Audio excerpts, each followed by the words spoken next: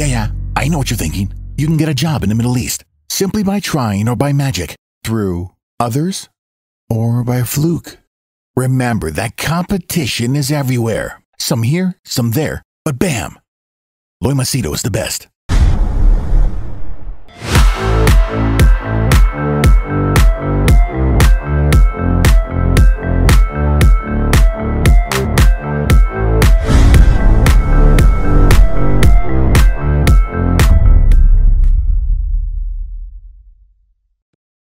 Right, in this video, I'm just going to give you a very personal, um, I don't know, a few personal thoughts, uh, especially with that accident that took place, um, I think, what, yeah, two days ago.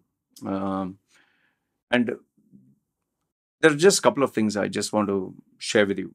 Okay, so in case you're searching for something of value, I don't know if there is, I'm just going to keep it open. For those of you who are new to my channel, my name is Loy Machedo. I'm a personal branding strategist. Um, help people get well-paying jobs in the Middle East, UAE, Dubai. Um, and uh, people book my services for personal or professional coaching. That is, uh, uh, if they have any issues, they can't talk to anyone. They book my services. Okay. So now, um, if you'd see uh, the video a few days ago, I spoke about a road accident that took place. Um, the update that I first want to give you is the my neck and uh, my shoulder is still hurting, just the muscle. It's like sore. It's really sore. I'm supposed to go for a massage, but I don't know. Just not thinking about it. Okay, that is one. The second thing is, yeah, my neck is slightly sore, but it's okay. In terms of uh, injuries, I don't see any injuries. I've not taken any painkillers. Yeah, a little bit of the waist, uh, my hip, okay, because, you know, fell down with impact. But more than that, I would say that um, it has kind of kind of impacted me a little bit mentally. I, um, you know, I've I've I've been thinking about I just did a little bit of search on Facebook, these groups, where these guys, um, there have been so many accidents. You know, generally, I'm not very hyperactive in checking other people's content, but I did a little bit of search in the groups, and you know, there is a search function accident. There are people whose faces have been smashed. There are people whose skin have been torn. There was one guy, I managed to bump into his video. Both his ankles broke off completely. And uh, he was almost bedridden, unable to walk for nearly one to two years. He had to walk with support. Bone completely busted and destroyed. Then, to my shock, to my shock and horror, my wife told me that, uh, you know, I'd, I'd been to Bangkok for a business trip her aunt who came to meet her, her son, apparently in this week itself, he smashed into somebody and the person is severely injured and he has to pay nearly, I think, uh, uh, 5,000 or 10,000 US dollars. That's not small money. That's quite a sum. And uh, that is only for the operation or whatever. Plus, they can demand much more than that. So he's going to be stuck in that legal limbo. Then my wife also shared with me uh, relatives of hers who have actually died or met with an accident. So yeah, listening to all that, you begin to bloody hell, man, this is crazy, man. And then on top of that, I was thinking on, I was very angry. To tell you very honestly, I was very angry that this guy came and hit me from back. This boy was driving recklessly. He was just enjoying, having fun. He was having fun. Driving on the road without a helmet at an incredibly insane speed for fun, for thrill. I was very angry, very, very angry. And I was thinking if I'd taken my daughter with me, for his thrill, for his fun, what would have happened? And I'll tell you some I really had some very dark thoughts, very, very dark thoughts, which I don't want to share here. But I was really wishing a lot of bad for him and his family.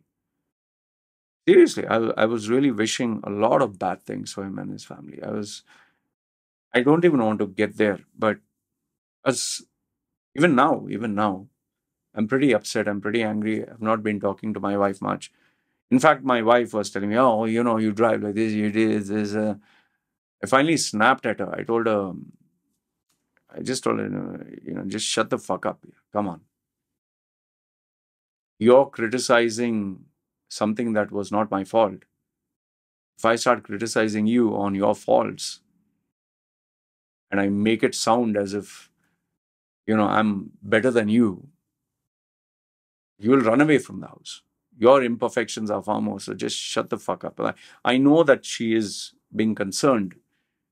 But, you know, as men, when you have something that is bothering you, when you're upset, when you're angry, and someone is constantly like chirping, chirping, chirping, chirping, eh, you know, nagging, you just lose it. And for me, I have many other things. I have clients, I have customers, I have work, creativity, different projects. And on top of that, uh, this one, that, that's the last thing I need. I, I don't need uh, nonsense. So, yeah, I was very upset. I'm in pain physically.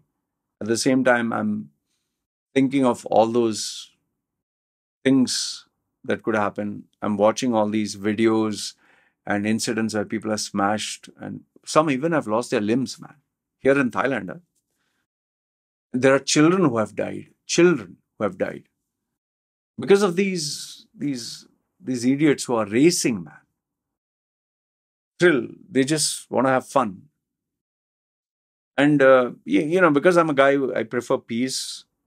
I not only paid for my scooter for the repairs, I paid for him also because you know, it, it was his brother's this thing and he has to go to work. But I was so angry, man. I'm still angry. I'm still irritated. And here's the funny thing, huh? Here's the funny thing. Yesterday I wanted to go out for to buy something, just 7-Eleven. And that fear came back. That the thought, the accident, that moment. And generally, when I want to go out, I'm always happy and I tell my daughter, come, let's go together. And I was like, should I take my daughter? Even though I'll be going in the inwards, inside roads, there's a 7 Eleven here inside. Even though there's not going to be anybody, no traffic. So it has impacted me. I I was thinking about my daughter. I was thinking, about my wife. I was thinking, what if something would have happened? And, you know, and then you see the people who have had accidents, who have lost their limbs, who have been brutally injured, who someone has died, some of them who have, have gone to jail because of an accident, because one fleeting moment of carelessness. And then there are others who, even worse, drink and drive and they end up in prison for I don't know how many years. But the person who they smashed into is an innocent bystander. There is one very horrific accident that took place here in Thailand, um, here nearby. Lady was pregnant and she's standing on the footpath, not on the road. This, I don't know, this laborer or someone who was driving a cement truck. He was driving it at full speed because the road was empty, full speed. Lost control. He smashed into it such an impact. She was pregnant. The baby got ripped off. Her body got broken into two, actual. I mean, you think about all this and you think, like, what the hell? What is life, man? And then you get these idiots who write, oh, this is God's way. Jesus is trying to call you. Oh, will you, uh, like, what? What is that? Zakir Naik. Will you accept Allah as your, this thing? God is trying. Shut the fuck up, man. Sometimes I really want to give them an answer that will humiliate them. Yeah, your God is busy taking revenge. Ah, I gave you an accident, so now you have to believe in me. Ha ha ha. Oh, yeah. And he can't do anything about famines and wars and children getting raped and women uh, being taken advantage and earthquakes and that all he can't do anything. But he's more interested in me driving the scooter. Yeah. Good, no? Religion and God and their bullshit. Anyway, it's it's going to take me a few days to just get my head sorted out, and I'm glad. One thing I'll tell you, I'm glad that this fear is there because it'll help me make smarter decisions and not be careless, be more cautious. But at the same time, I'll tell you when um, you know when you're being safe and you drive safe and you take care of yourself, and still something bad happens, you really begin to think you know a lot of things. So yeah, this is what I wanted to share with you guys. Um, and yeah, there have been some members in my WhatsApp group who have sent private messages to me telling me about some really bad accidents that took place with them. So it's really a shocker, I'll tell you. Anyway, if there's one message I want to leave you with is please drive safely. Please be safe, offensively, defensively, and uh, take care of yourselves. Yeah, I wouldn't want anything bad to happen to anyone. That's whether you believe it or not. I don't want. But these people who race and they drink and drive or these thrill seekers, I don't even want to tell you the dark thoughts that I have inside, the thoughts that I wish will happen to you. But seriously, if it does, you deserve it. Because if you're going to play with your life, fine. You suffer, you lose your hand, you lose your leg, you die, that's okay. Don't make innocent people suffer for your stupidity. Anyway, that's all I wanted to share with you. Let me know your thoughts in the comments below. You agree, disagree. And uh, to there were one or two people who were very happy that God taught me a lesson or you deserve it.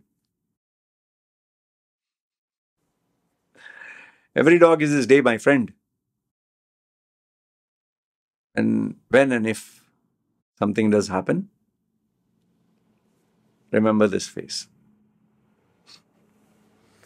Anyway, you guys take care. It's me signing off.